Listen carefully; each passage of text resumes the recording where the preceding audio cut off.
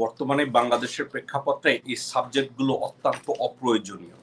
আমি অপ্রয়োজনীয় এই জন্য বলছি, আপনাদের মনে আছে, আপনি কি একটা মুভি ছিল অস্কার পাইছে মুভিটার নাম ছিল লাস্ট কিং অফ স্কটল্যান্ড বা সামথিং লাইক দ্যাট ওখানে উগান্ডার ফর্মার প্রেসিডেন্ট ইদি আমিনকে নিয়ে একটা মুভি করছিল last king of Scotland Ireland এই ধরনের কিছু একটা কথাটা উগান্ডার ইদি আমিনকে টেনেছিল এই জন্য যে একজন অর্বাচীন লোক cynical an individual who is completely insane, cynical, they don't care about courtesy. সামান্য ন্যূনতম ভদ্রতা যাদের মধ্যে নেই। তো ওই ইদিয়ামিনের যে চরিত্রটা ছিল, সে রাস্তাঘাটে রাস্তাঘাটের লোকজনদের মতো কথা বলতো, অফিস আদালতের যাত্রার সাথে কথা বলতো যাতায়াত আচরণ করতো। এখন, আমি ইদি আমিনের নামটা এবং উগান্ডার নামটা এই জন্য টানলাম, ওয়ার্ল্ড স্টেজে ইদি আমিনকে আসলে কীভাবে মানুষ বিচার করত? ইদি আমিনের মতো একজন অশিক্ষিত, অর্বাচীন, অদূরদর্শী রাষ্ট্রনায়কের কাতারে যদি পৃথিবীর হিস্ট্রিতে ওয়ার্স্ট দুই তিনজন প্রেসিডেন্টের নাম উল্লেখ করে, তাদের ভিতরে ইদি আমিন একজন। এটা আপনিও যেমন জানেন, আমরাও অনেকে জানি। আর হাসিনা শেখ আসলে পাকিস্তান সম্পর্কে যে কথাগুলো উনি বলেছেন, এখন একটা কথা আছে। আপনার একটা আপনি মানে আপনি একজন ক্যারাবিয়ান একজন রেগে আর্টিস্ট আছে, যার নাম আমরা কি বলি? স্যাগি। স্যাগির একটা গান কি আপনি শুনছেন? ইট ওয়াজ এন মি মানে ধরা পড়ছে, তারপরেও কইতেছে ইট ওয়াজ এন মি চুরি করছে, ধরা পড়ছে ইট ওয়াজ এন মি তাহলে এখন কোশ্চেনটা আসছে who was it as a matter of fact it was him or her আমি ব্যাক করি। পাকিস্তানের সম্পর্কে আমার ধারণা মানে আমার ধারণা না হিস্ট্রি তাই বলে। আমি কিছু কিছু লেখাপড়া করেছি। অ্যান্থনি মাস্কারনাসের একটা বই পড়েছি। তারপরে জেনারেল সিদ্দিক সালে সালে সিদ্দিক, এই ধরনের একটা পাকিস্তানি একজন জেনারেলের কিছু কথাবার্তা আমি শুনেছি, কথাবার্তা আমি বলি আপনাকে। উনিশশো তিয়াত্তর সালে যখন গণভবনে একটা কথাবার্তা হচ্ছিল, বাংলাদেশ সেনাবাহিনীর প্রয়োজন, সেনাবাহিনীর এফেক্টিভনেস আপনাকে আমি বলি, মুজিবের ওয়াইফ ওনার নাম কি? হাসিনার মা, উনি বলছিলেন, পৃথিবীর সূর্য সন্তান হচ্ছে পশ্চিম পাকিস্তানের মিলিটারিরা তারা আচরণ কি জানে? তারা আচার ব্যবহার জানে, তারা কথাবার্তা জানে। আল্লাহ রে, আমি ওখানে যতদিন ছিলাম আমার মনে হয়েছে আমি জান্নাতে ছিলাম। এখন ওনার জান্নাতের ব্যাখ্যাটা আমি দেই। শেখ মুজিবের বইয়ের নাম বোধহয় ফজিলাতুন কি জানি একটা ছিল। ওকে তো যা ছিলেন উনি ওখানে প্রতিদিন পাঁচজন আর্মির সেপয়কে ওনাকে অ্যাসাইন করা হয়েছে তাদের নেতৃত্ব ছিল একজন জেসিও, যে ওনাদের বাজার করে দিতেন। ওনাদের ঘর দুয়ার ধুয়ে মুছে দিতেন। পাক করে দিতেন। এবং হাসিনা, শেখ তখন প্রেগনেন্ট ওই অবস্থায়ও ব্রিগেডিয়ার সিদ্দিক সালিকের সাথে উনি লাহোর, ইসলামাবাদ, রাওয়ালপিন্ডি বিভিন্ন জায়গায় উর্দু সিনেমা দেখার জন্য ডানে বায়ে দৌড়াদৌড়ি করতেন। এমন কোন মিউজিক অনুষ্ঠান নাই যেটা উনি যান নাই। এসব নেকামো বানরামো দেখে ডক্টর ওয়াজেদ রীতিমতো রাগ হয়ে এক ঘরে হয়ে রইছেন। ওনাদের এগুলো পারমিট করে নাই দেখে। ওনাদের সম্পর্ক জাহান নামের চৌরাস্তা পর্যন্ত গেছে। সিদ্দিক সালিকের সাথে উনি যে এখন পেয়ারে পাকিস্তানের যে কবিতা পড়ে, যে গান টান করে, আপনারা অনেকেই জানেন না, হাসিনার উর্দু অত্যন্ত ভালো উর্দু। উনি এই ভাষাটাকে খুব ভালোভাবে জানেন। কেন উনি এই উর্দুটা ভালো জানেন জানেন? ব্রিগেডিয়ার সিদ্দিক সালেকের সাথে বাংলাদেশে আসার পরেও তার কন্টিনিউয়াসলি যোগাযোগ ছিল। ব্রিগেডিয়ার সিদ্দিক সালেক বাংলাদেশে এসছে ওনাকে নিয়ে ডেটিং এ গেছে। ওনাকে নিয়ে আবার পাকিস্তানে বেড়াতে গেছে। এবং ওই বেড়াতে যখন গেছে, হাসিনা শেখের যে একটা ছেলে আছে, সজীব জয় সেও তখন পিচ্ছি ওই ওই ছেলেকে সহ হাসিনা আবার পাকিস্তানে একবার না কয়েকবার গেছে। ওখানে ঘুরে আসছে।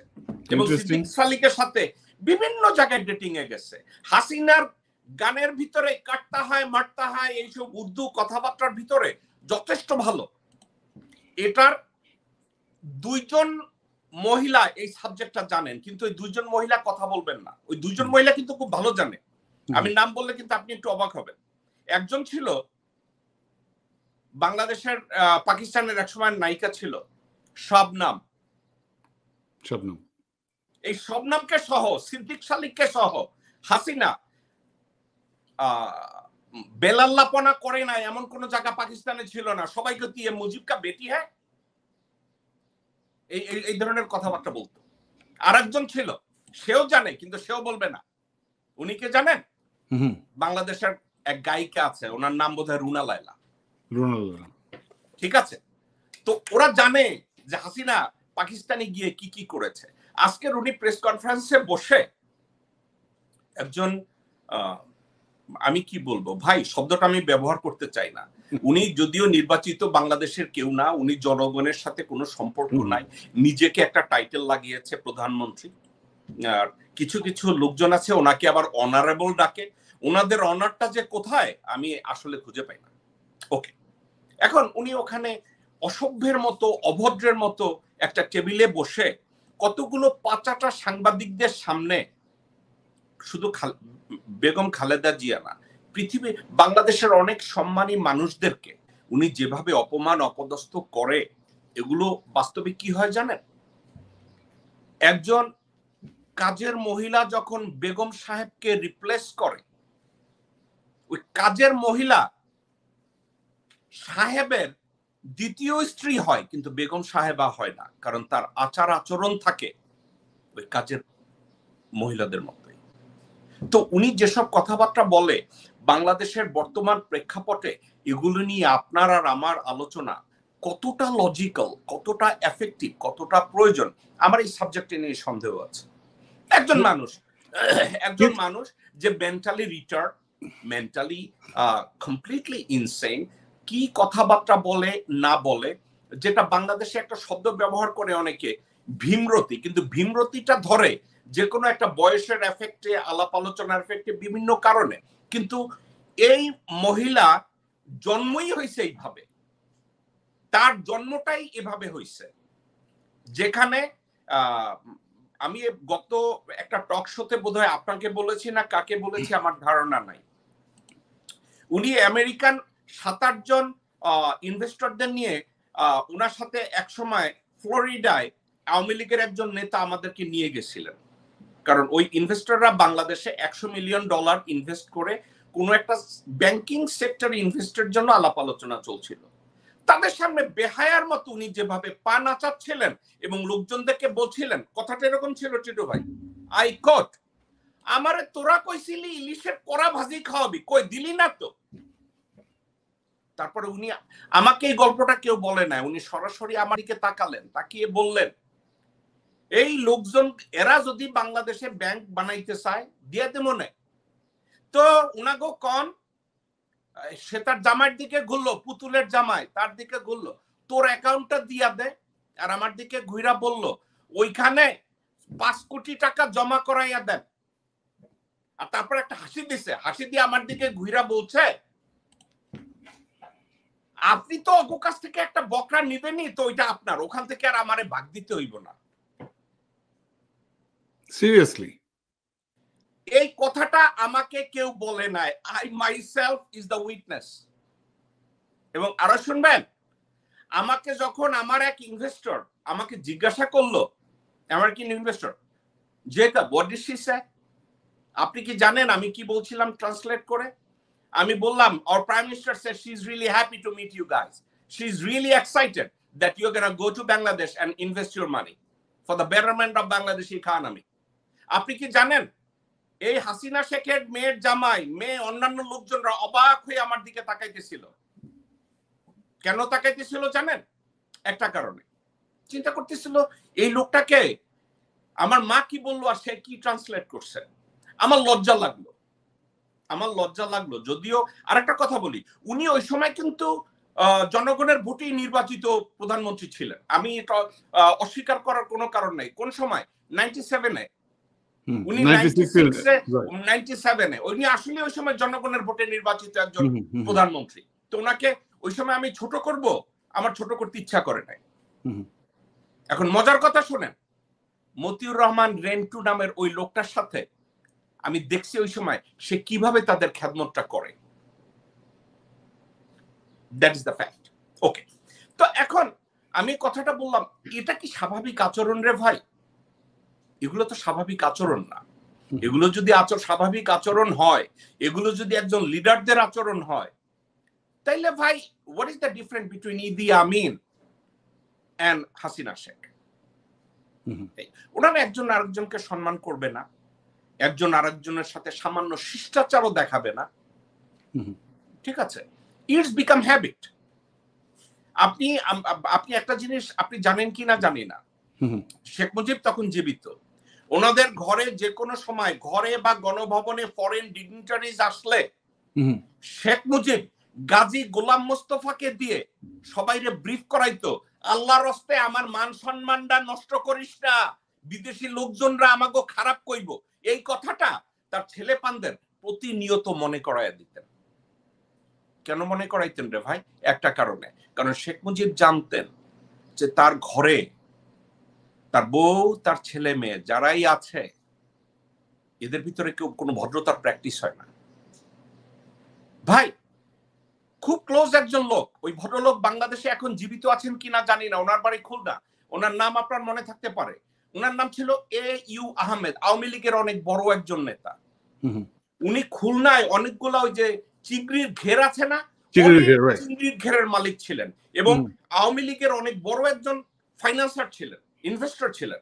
শেখ মুজিবের অত্যন্ত স্নেহ ভাজন ছিলেন A U Ahmed A U Ahmed কোন এক জায়গার আলোচনায় উনি সরাসরি বলেছিলেন যে মিসেস মুজিব শেখ মুজিবকে জাইলার ছেলে অশিক্ষিত এই ধরনের কথায় সম্বোধন করতেন।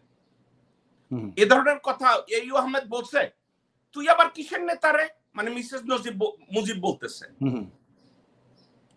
তো শেখ মুজিব এইসব অসম্মান অসম্মানজনক কথাবার্তার জবাবে শেখ মুজিব হাসতেন।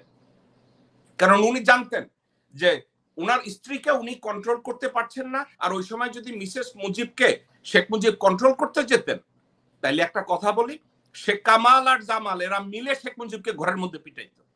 তো শেখ মুজিব এত বোকা না শেখ মুজিব চিন্তা করছে সামহাও এটাকে আমার ম্যানেজ করতে হবে। উনি করছে। টিটো ভাই সাবজেক্টটা নিয়ে রসালো কথা অনেক বলা যায় কিন্তু রসালো কথাগুলো আপনার বা আমার কোনো উদ্দেশ্যকে ফুলফিল করবে না। কোনো উদ্দেশ্য নিয়ে এগুলো এটা ভালো কোনো সাবজেক্ট না আমি আর আপনি এই, মিসেস মুজিবের কথাবার্তা হাসিনার চরিত্র এগুলো নিয়ে আমরা দশ দিন কথা বলতে পারব। কিন্তু আপনি কি মনে করেন those conversation will have any effect with the conditions of Bangladesh right না. True. True. ঠিক আছে একটা কথা মনে রাখেন যেদিন ইদি আমিনকে ক্ষমতাচ্যুত করা হলো নেক্সট ডেতে ইদি আমিনের নাম মুখে নেওয়ার মতো কোনো মানুষ উগান্ডায় ছিল না। ওয়াই এটা কেন ছিল? আপনাকে আরও একটা কথা বলি। আপনি একটা দেশের নাম হয়তো শুনছেন লাইবেরিয়া লাইবেরিয়া একজন সরকারকে পতনের পরে রাস্তায় টেনে হিসড়ে তার কান কাটা হইছে তার নাক কাটা হইছে। তারপরে তার উলঙ্গ শরীরটাকে আমেরিকান এম্বাসির সামনে নিয়ে এক পায়ে রশি লাগিয়ে ঝুলিয়ে রাখা হয়েছে। Under the leadership of Charles Taylor এ ধরনের ইতিহাসে এগুলো আছে এগুলো অত্যন্ত ভালো সাক্ষী। তো এগুলো এই আলোচনাগুলো আমি আর আপনি আর না করি। তাতে আপনার মুখ খারাপ হবে আমার মুখ খারাপ হবে। আমরা ভদ্রতার সাবজেক্টগুলো আমরা ক্রস করব। এইসব সাবজেক্টে আরেকজন মনে হয় আপনার একজন অতীত এর আগে এক ভদ্রলোক আপনাদের টিভিতে আসতো। ওনার মুখের গালিগুলো আবার খারাপ না। ওনাকে দিয়ে এগুলো নিয়ে কথা বলালে উনি খুব ভালো গালি টালি দিতে পারেন ওনার মুখে আবার এই ধরনের গালি টালি গুলো শোভা পায়। উনি গুলিস্তানের ভাষায় কথা বলতে অভ্যস্ত। উনি প্রফেসর মানুষ আমি জানি না উনি গুলিস্তানের ভাষাটা খুব সুন্দর রপ্ত করছেন। ওনাকে দিয়ে এক সময় করিয়ে। অনেক ধন্যবাদ আপনাকে।